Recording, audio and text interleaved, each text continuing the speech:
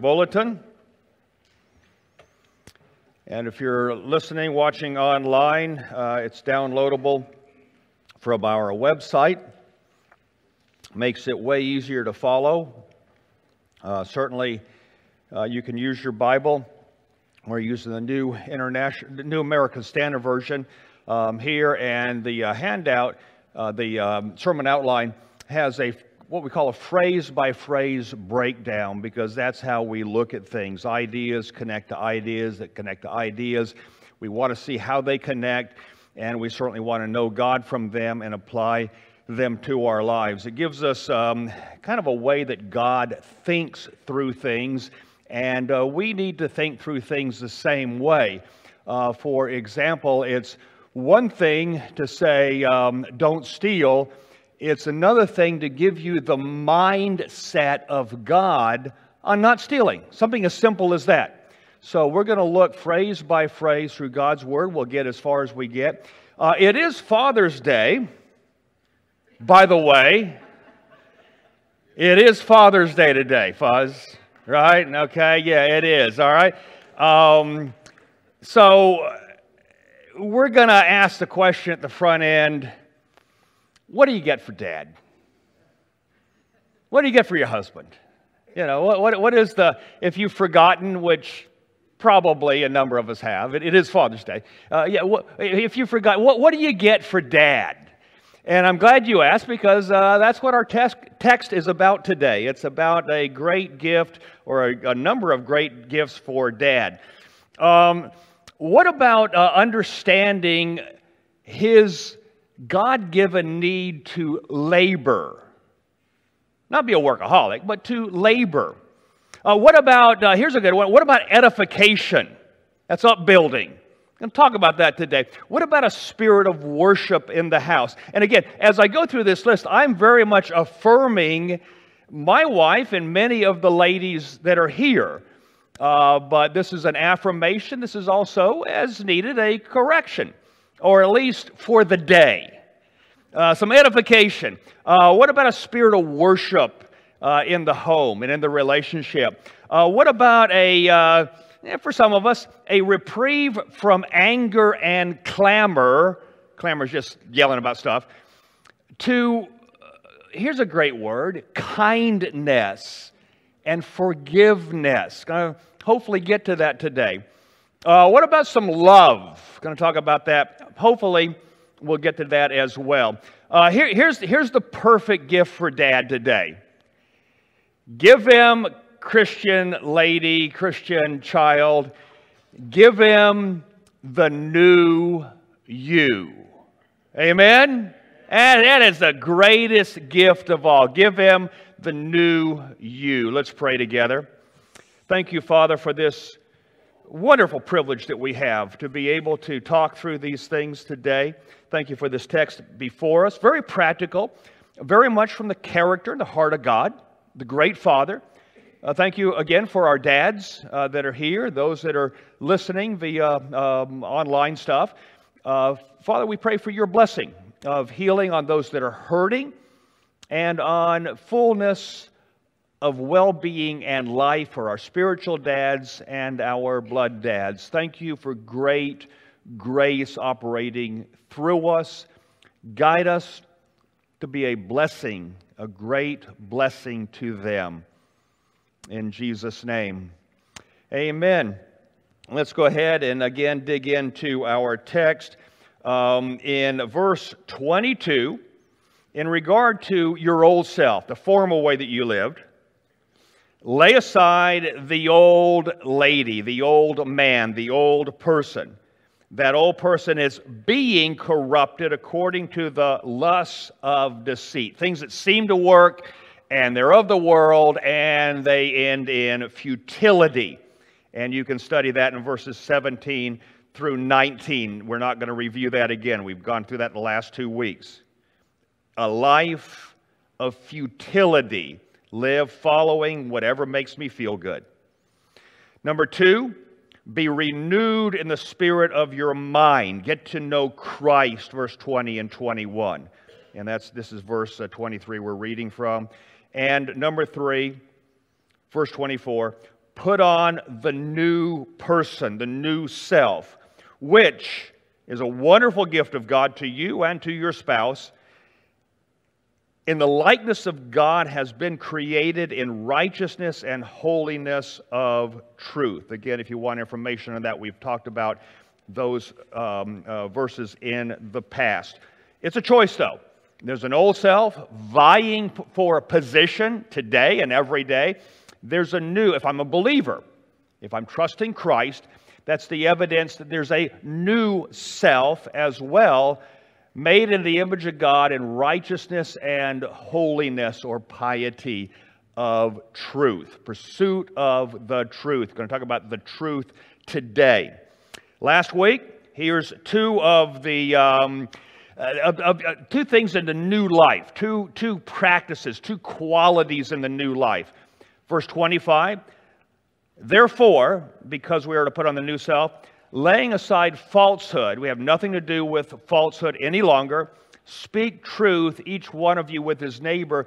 The reason given here, besides God is truth, that's in the context, we are members one of another. We don't lie in marriage and we don't lie in the church family because we are of the same body, the body of Christ. That's the driving force. That's the reason why we do not deceive each other. That's done. That's the past.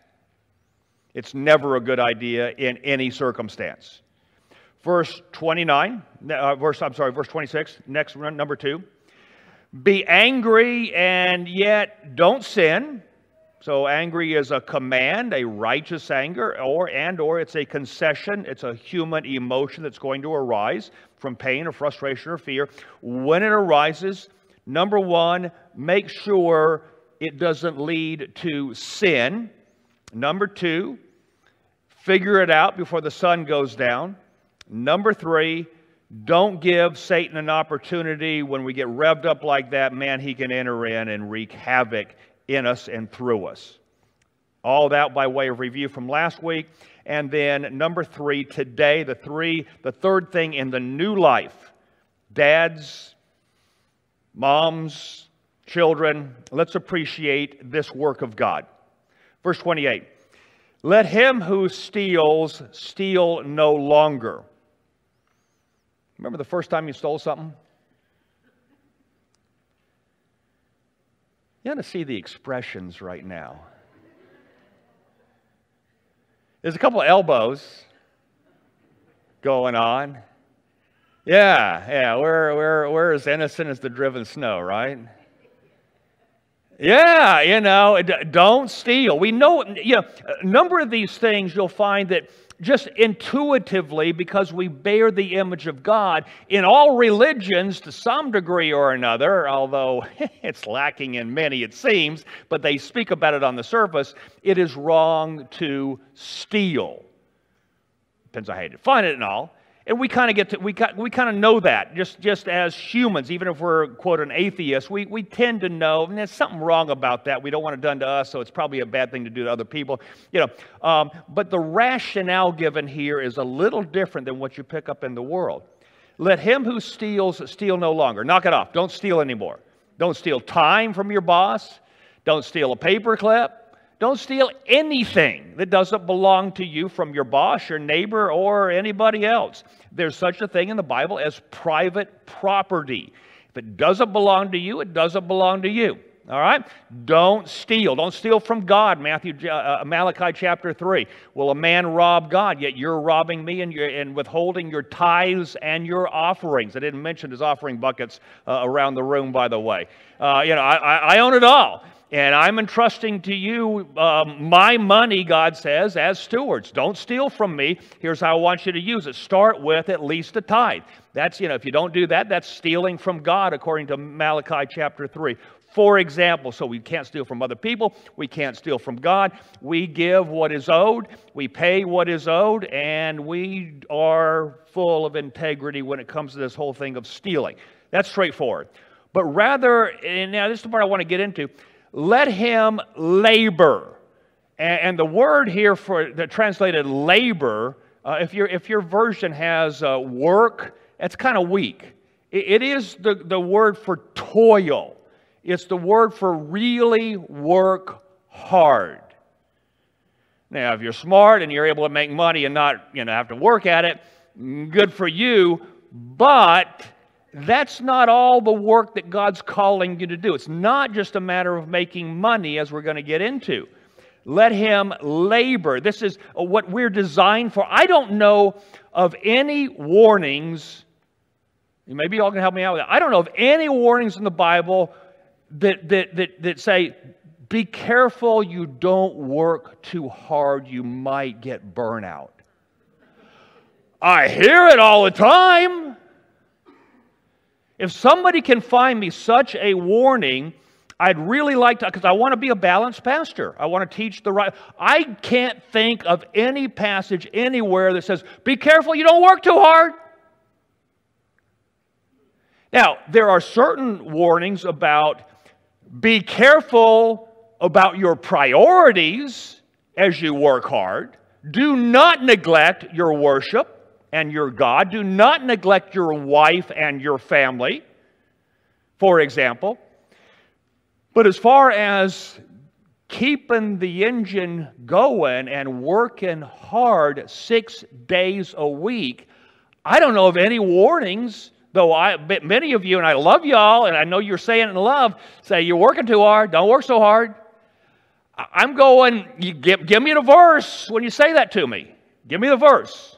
Okay? Now, if I'm in imbalance, neglecting my wife, you perceive, or whatever, then come to me, talk to me. All right? Let him who steals steal no longer. Here's what I want you to do I want you to labor. I want you to labor really hard. There seems to be four types of people in the world. First of all, there's thieves, people who are just looking to steal from you. Second of all, there's the entitlement crowd. They expect you to support them or the government or whoever.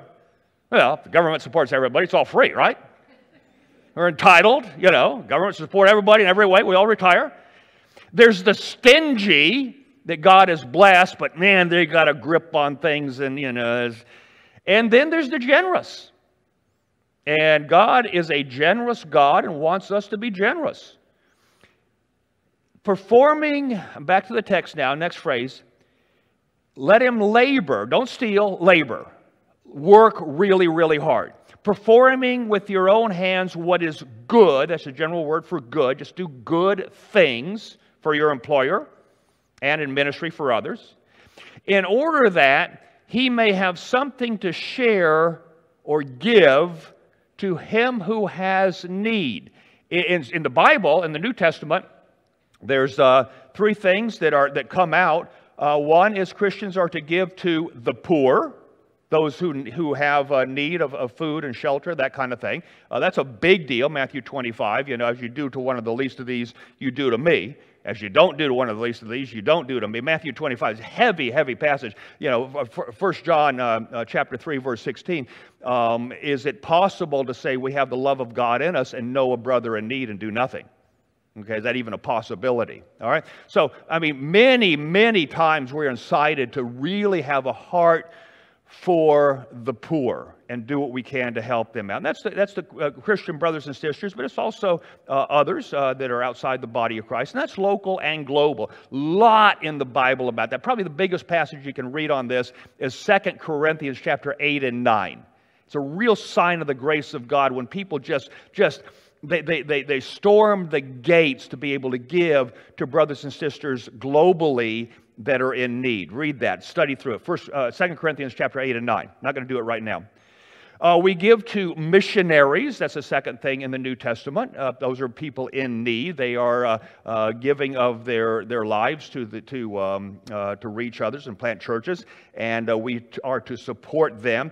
And then there's elders and churches that we support as well. Those seem to be, seem to be the three big ones. The poor probably at the top of the pile. But missionaries are important, and I think elders are somewhat important as well. The whole church thing. So we give to those who are in need.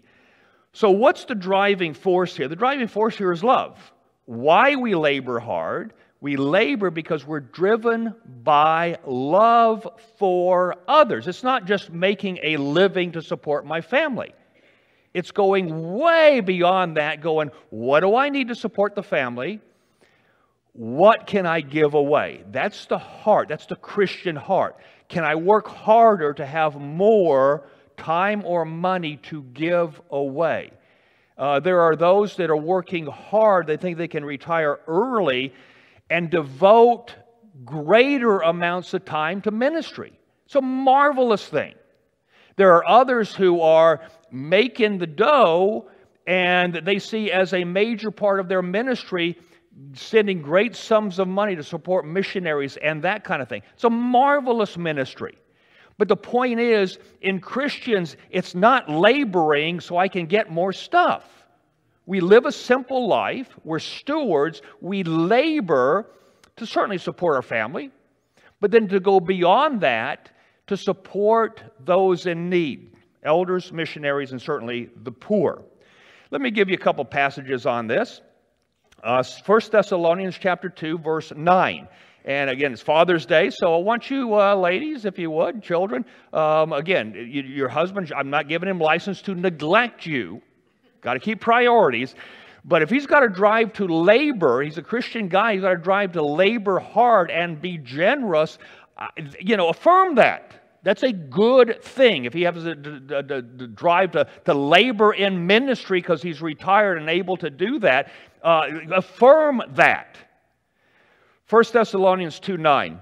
Paul, writing to the church in Thessalonica, says this You recall, brethren, this is 1 Thessalonians 2 9. It's a church in, in, in northern uh, Greece, and he spent some time there. They spent some time there, he and his missionary buddies uh, church was planted, he writes back to them and he says, You recall, brothers, listen now, our labor and hardship. That's what we did when we were among you. How working night and day, so as not to be a burden to any of you, we proclaim to you the gospel of God. Their, their goal was to proclaim the gospel, but to support themselves, they had to work with leather and things like that to make money to support themselves and to give to others the gospel and their lives. They labored, they were in labor and hardship, working night and day. Seemed to be a way of life for them. Second Thessalonians chapter 3, verse 6, writing to the church again, a little bit later. Now we command you, brethren, in the name of our Lord Jesus Christ, that you keep aloof, hold back, don't show close friendship. Love them, but don't show close friendship. Don't, don't pretend like everything's okay. Keep aloof from every brother, person who calls themselves a Christian, who leads an unruly life, not according to the tradition which you receive from us this is how important this is this whole thing of, of God's design in our lives to labor. For you yourselves know how you ought to follow our example. We taught you with words, we taught you with example, because we did not act in an undisciplined manner among you. We didn't eat anyone's bread without praying for it, but with labor and hardship, we kept, we kept working night and day that's an example to you all to follow, so that we might not be a burden to any of you. So, worked in ministry, worked making money, worked night and day to give their lives away. Verse 9, not because we didn't have the right to it, but in order that we ourselves might be a model for you, that you might follow our example. Even when we were with you, we gave this, you this order. If anyone chooses not to work, neither let him eat. Don't support idleness. Some people can't work. We want to support them. They're trying to get a job, they can't, physical infirmity, whatever, whatever, that happens. We want to support the poor. It's huge in the Old Testament New Testament. Same time, folks that simply will not work, love them by saying, You're not gonna, we're not going to feed you either. For we hear that some among you are leading an undisciplined life, doing no work at all, but acting like busybodies. That's what happens when we're idle, fallen nature. Such persons we command and exhort in the Lord Jesus Christ to work in quiet fashion and eat their own bread. Do not grow weary in doing good. That's a hard command. And so we want to discern who, were tr- who truly needs help and help them to the hilt. But those that, that, that refuse to work, they are to go hungry enough to choose to get a job and to work and to enter into this whole thing of helping other people as well. Acts chapter 20, verse 35.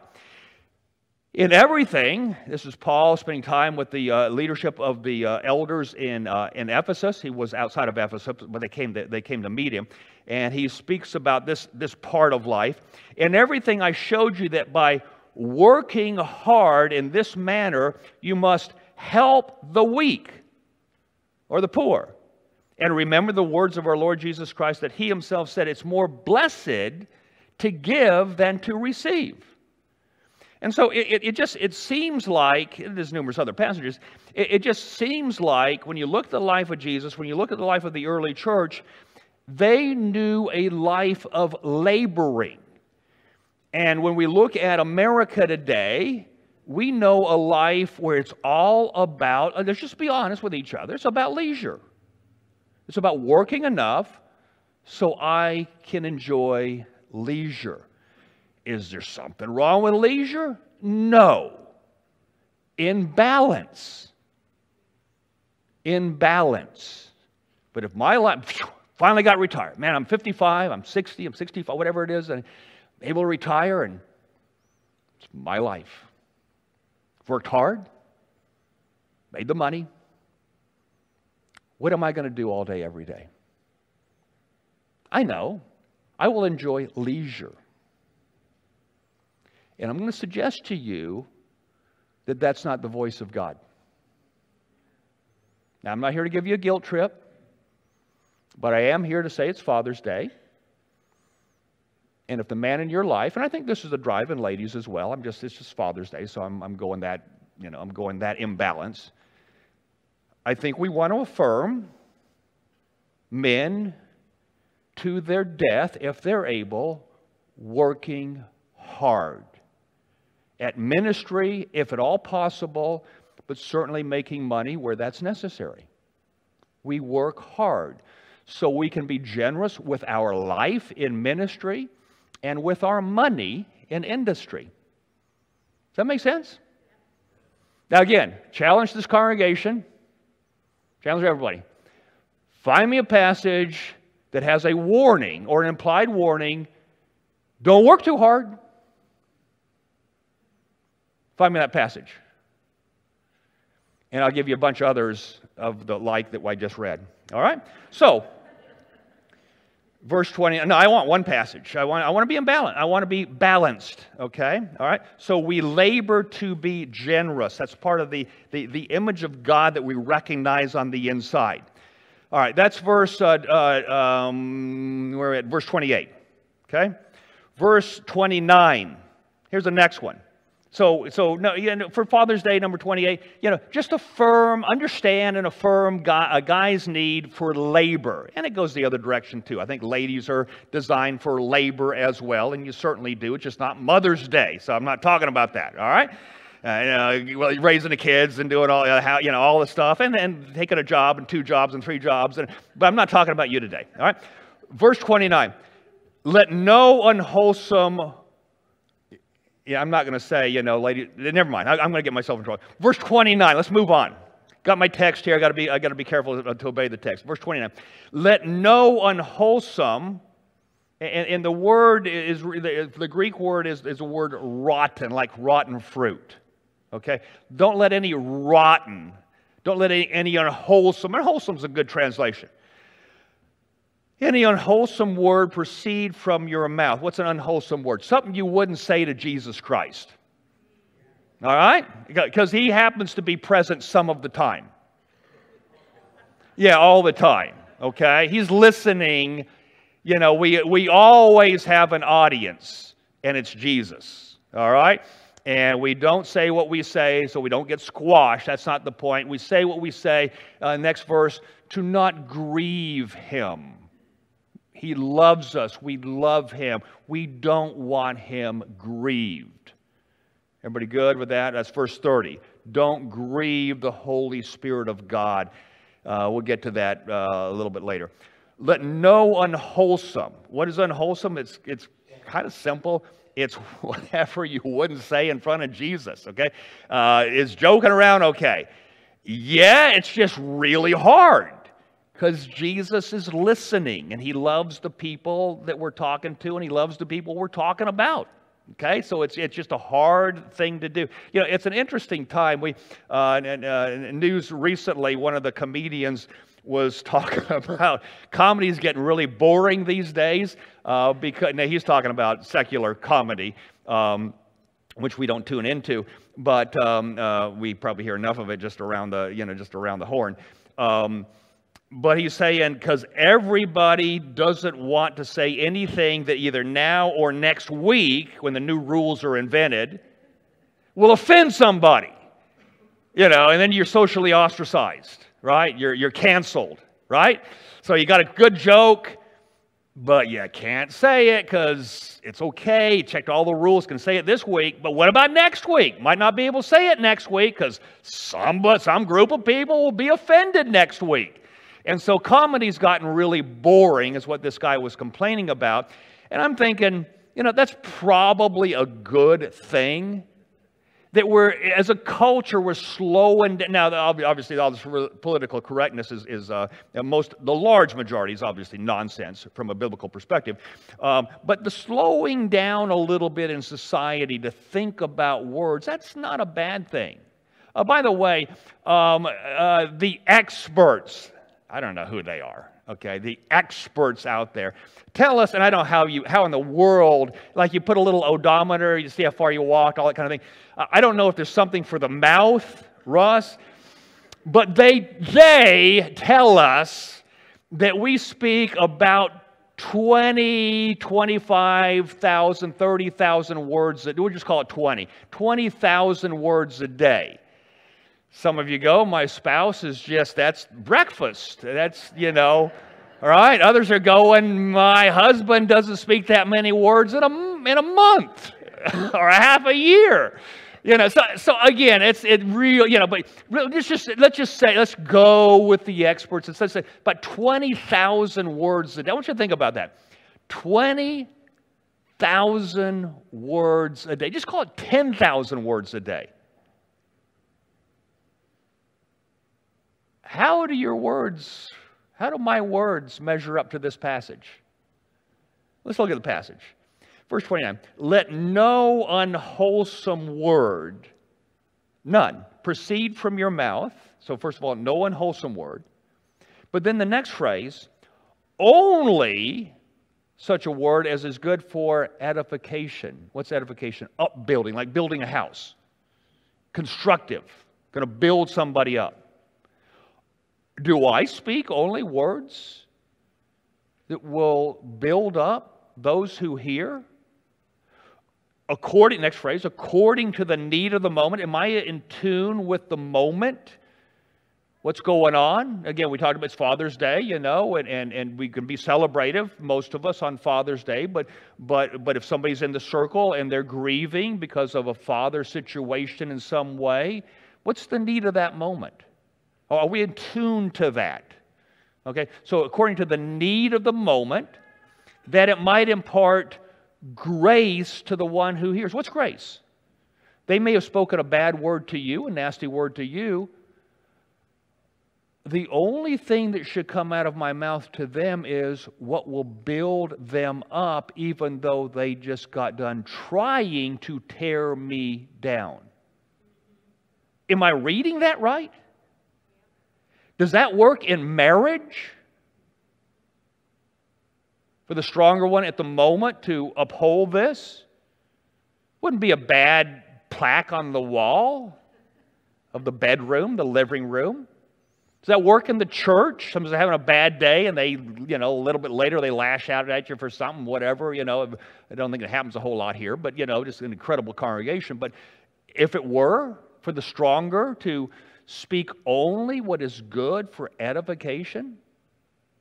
Only what. So if my 10, 20,000 words are all of them good to edify anybody listening to me? You know, we talk about our, uh, the government listening to our phones. I, with, with exception of when I'm talking to people about, you know, uh, uh, suicide and, and that kind of thing, not my own normally, but, you know, as the case may be. Um, now that the playground is about as close to done, at least it's done for right now, I'm, I'm a little less suicidal at the point. the Uh, um, uh, what was I saying? Yeah, so, so you know, in regard to, to, to folks tapping the phone and listening in, would they be edified in my conversation? Whoever's eavesdropping, listening in, those who hear, imparting grace. Grace is giving them what they may not deserve. They deserve a piece of my mind. Well, it's not that much there to begin with, but no, they deserve what God wants you to give them, and that's edification. That can be correction, that can be affirmation. It's never going to be flattery. It's always going to be the truth in love, verse 15 of chapter 4. But whatever is to build them up. How do we do this? Uh, proverb num- number one, I think we need to appreciate the power of the tongue. If we're going to do this, I think the starting place is God has given to us a tongue, and it's a powerful instrument. And I think because there's so much verbiage all day long, every we can't stand it if someone's not talking, right? If we're if we're driving in a car together, someone's not talking, it's like uh, uh, we're uneasy. It's okay for there to be a lot of silence in your relationship with whoever it is that you're with. Guys, you got to talk to your wife a little bit, but you, you know what I'm saying? All right, so so silence isn't a bad thing. Think about it before you say it. So so the power of the tongue. Proverbs 18 verse 21. Love to have that on a wall nearby. Death and life are in the power of the tongue. And those who love it, those who value it, will eat its fruit. It's life giving. Edification is life giving to my, to my dad if he were alive. Give, what's a great gift to give to your father today? Life. How do you do that? Edify him if you're able to. Or your spiritual dad. Many men in this church are looked up to as that. Edify. How can I build him up? Death and life are in the power of the tongue. Those who love it will eat its good fruit. We also got to focus on the heart, number two. Matthew chapter 12, verse 33. The mouth speaks out of that which fills the heart, Jesus said. Now, that can be a good thing and a bad thing. And he goes on to say, We will give an account, listen now, for every careless word. That's a word that we haven't given care to before we speak it. That's why we are to be very slow to speak throughout Proverbs. How many Proverbs? Be very slow to speak. Where there are many words, sin is unavoidable. Slow down, care about your words. Think of the power of words. I'm talking to me. Use them to edify. My tongue needs to be a, a, a, ministry of grace to others. Colossians chapter 4, verse 6.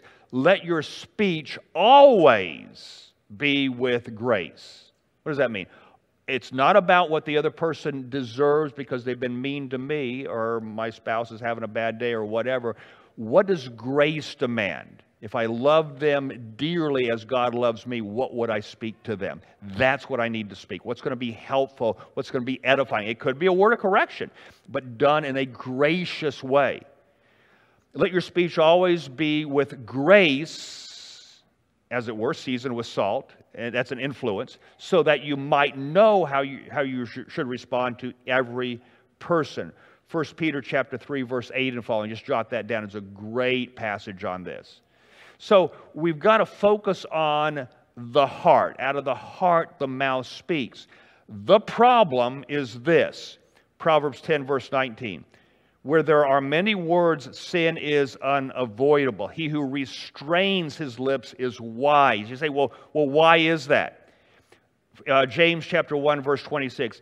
If anyone thinks himself to be religious and does not bridle, means put a control on his tongue, can't just let it flap. but deceives his own heart, this man's religion is worthless. That's, that's, the, that's the power God attributes to the tongue. By the way, God spoke the universe into existence. Think about that. Giving us an example of the power of the tongue, speaking. And so in James chapter 3, verse 2 and following, gives uh, three illustrations. One, horses, we control horses by a bit in the mouth. Two, we control ships by a little thing called the rudder, which is likened under the tongue in the illustration. Three, we can set a forest aflame by a match, a little tiny flame. Can set an entire forest on fire. So the tongue is set among our members, and it can be set on fire by hell or by demonic influence. Verse 8 No one can tame the tongue, it is a restless evil full of deadly poison. With it, we praise our God. With it, we curse people made in the image of God. Brothers, these things should not be. But they are, and the point is, as we focus on the heart, we've got to realize there is the old man, that's the context of what we're talking about. If we just let our tongues go, the old man has some things to say to those who hear. And so the only hope we have is number one, focus on the heart, focus on grace toward other people. What does grace demand that I say all the time? Period. End of story. What does grace demand? What is what, what, what what's going to edify in this situation? At the same time, I can't trust my heart entirely because there's a fallen nature, so I have to put a bridle on my tongue. No, Christian, no man can tame the tongue. It's a restless evil full of deadly poison. The old man remains. So I can't just start yapping. Got to slow down. Got to think before I speak. What am I thinking? Is this going to be edifying? Does that mean you can talk about, um, here's a sore topic, the Tampa Bay Lightning? Just have to be careful. Absolutely. It- you know, it's, it, that's something God's given to us as part of the image of God. The whole creativity in sports, the creativity in music, creativity in the arts, creativity, you know, all that, that that's those are things that God's given to us to enjoy and to talk about those things. They can't dominate our entire conversation, but to talk about those things, to joke around. All of that's good if we're thinking, is this edifying or not? All right? It's a hard thing to use the tongue. It's a powerful tool that God's given to us. So, let no unwholesome word come out of your mouth. That that means we bridle the tongue. It's not coming out if it's from the fallen nature and it's going to be unwholesome or unedifying. Only such a word comes out which is good for edification, which, as we're thinking about showing grace to others, it will come out, it will come up, and we let it out according to the need, what's going on at the moment, at that time, that it gives grace. That's a love that's undeserved to those who hear. Amen? Everybody good with that? Next one do not grieve the Holy Spirit of God, by whom you were sealed for the day of redemption. It's interesting where this is found, this, this, this next quality that needs to be in our life. Verse 30. It's number five on, on, on the list as I'm counting. Right in the middle, and I think what, he, what he's saying is God's Spirit has sealed, when we when we trusted Christ, way back in, in chapter 1 and verse 13. Remember all those blessings we have from God that God chose to give us before eternity began. All right? All of those blessings, verse 13, one of them was you were sealed in Jesus. Sealed. That means you're, you're eternally secure in Jesus with the Holy Spirit of promise. And so the drive is we, if you're a believer, the evidence is there. You live in a life of worship. You're seeing the, the evidence of the new person at work. The evidence is there. You're believing in Christ. You were dead. You're made alive by grace through faith. The evidence is there. You're sealed in the Holy Spirit. You're secure, and that security should not drive us to go, Well, I can do whatever I want to do. No, if I'm secure and He's dwelling in me, that should drive me to love Him all the more and do only what pleases Him, not what grieves Him. Do not grieve the Holy Spirit. The Holy Spirit's not an it, the Holy Spirit is a person. Everything said of the Father is said of the Son, is said of the Holy Spirit. I should say almost everything. Said of all three. He's a person. He can be grieved. We don't refer to the Holy Spirit as an it, he's a him. He is morally pure. He loves those you're talking to. He is grieved when we disobey any of these things that are part of the new man. It grieves him. We don't be obedient because we're afraid he's going to squash us. We're obedient because we want to please him. We don't want to grieve him. He's present with us. We're sealed in him. Christ is in us. We're in Christ. The Holy Spirit's in us. We're in the Holy Spirit. We're sealed together for that day of redemption. We're going to that's our home. When we die, when Jesus comes back again, we're going home. We're going to be with him forever. That's our home. That's our kingdom. That's where we want to be. And so we want to live that way right now. Uh, in, in, in chapter 5, verse 18, we'll get to this in a few weeks, should the Lord tarry. Be being filled with the Holy Don't get drunk with wine, for that's dissipation, but be being filled with the Holy Spirit speaking to one another in psalms and hymns and spiritual songs, singing and making melody in your heart to the Lord, always giving thanks for all things or in all things to the Father, being submissive to one another. So, those four qualities, those four participles, the four, four qualities are ours as we are not filled with wine, but filled with the Spirit of God. That's what God's Spirit guides the new person into. Uh, that's a household, that's a marriage, that's a household of worship. And that's what we want. Great gift for dad today is a home of worship where we're really listening for the voice of God. It's really the key to all of these things.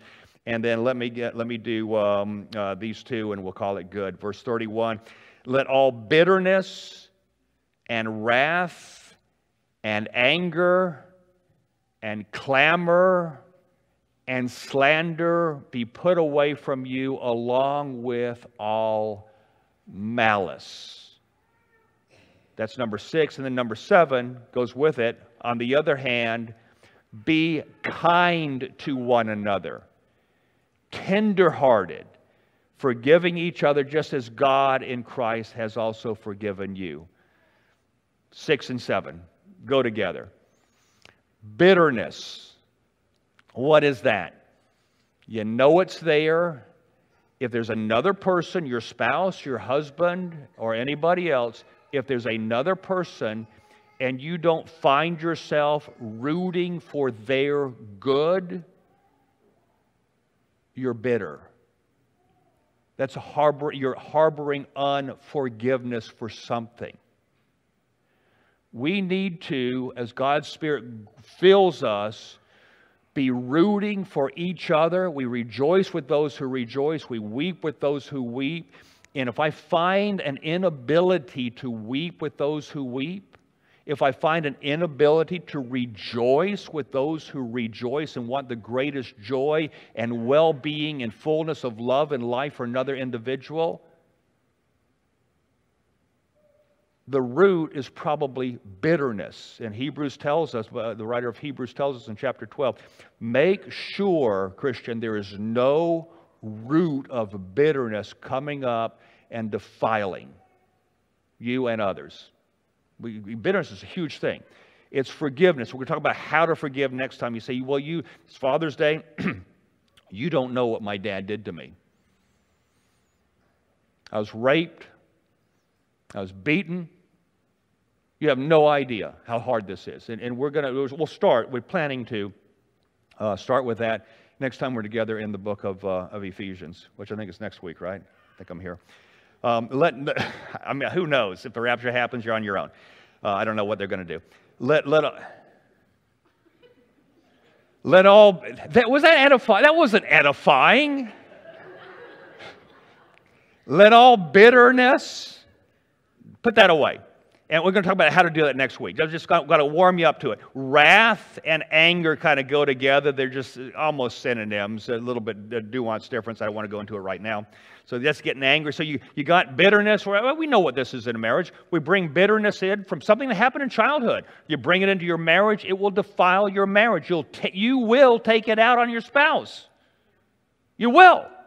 Any bitterness remaining in business from childhood, whatever it is, you've got to get some help with that.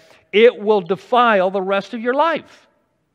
So bitterness, it's interesting. He starts with bitterness. You, from child, we got to we got to take care of that. Please, there's a team here. We're glad to help you out with this. You need to be able to think of any individual on the planet and not be bitter. Someone murdered a family member.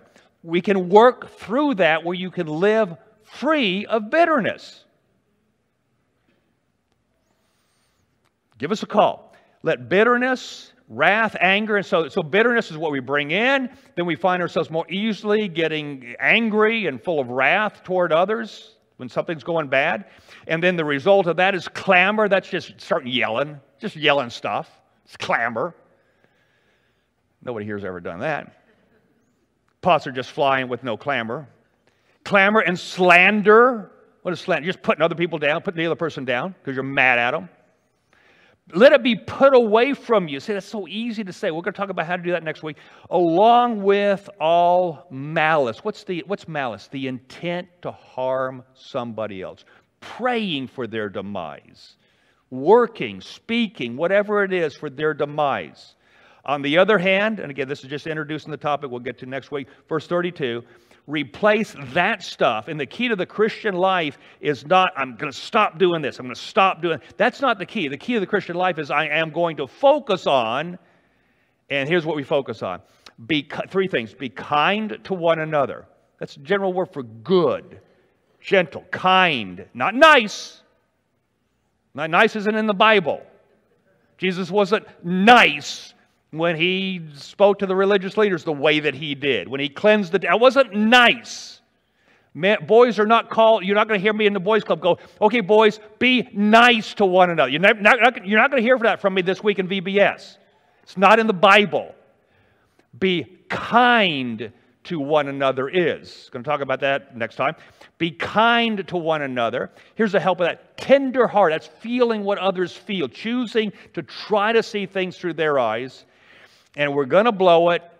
So, and that's implied here, forgiving each other just as God in Christ has forgiven you. What a loaded expression. What do we do before next week? I want you to think about how God in Christ, in Christ, you're united to Christ, how God in Christ has forgiven you. People who can't forgive even the worst, and I'm talking, there's some heavy things to forgive weighty things. Imagine being abused and, and the like. Very weighty things to forgive, or having again a family member murdered, or any number of hor- horrific things. God gives us the ability, the power, by His guidance and by His uh, community and by um, by His empowerment uh, to, to, to do this.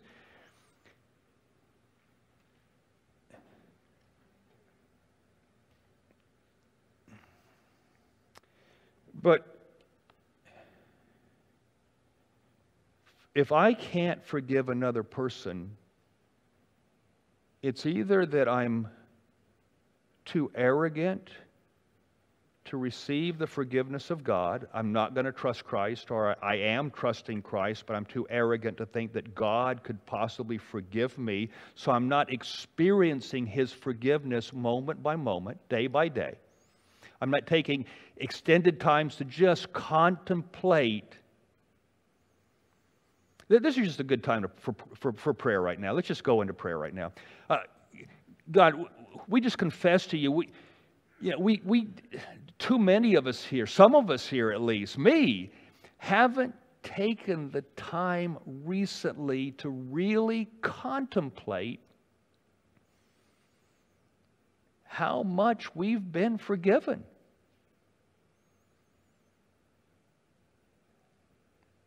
Living as absolute rebels with a finger held up to you, many of us for years.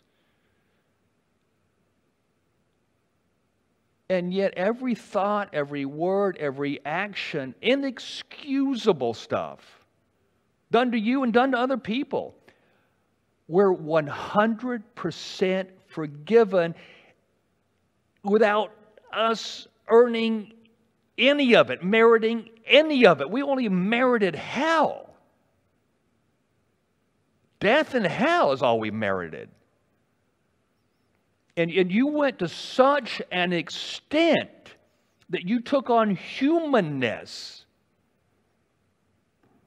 You came to this planet.